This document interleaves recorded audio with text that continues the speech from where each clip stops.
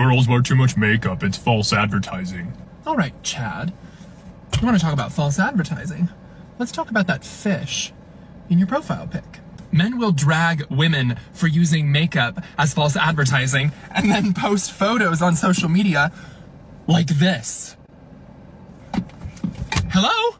That's false advertising. Your face is a light year and a half away from the camera under a hat and shades so that we purposely can't tell that you look like an inbred Shrek. And then this is pushed so close to the camera because you wish it looked that big.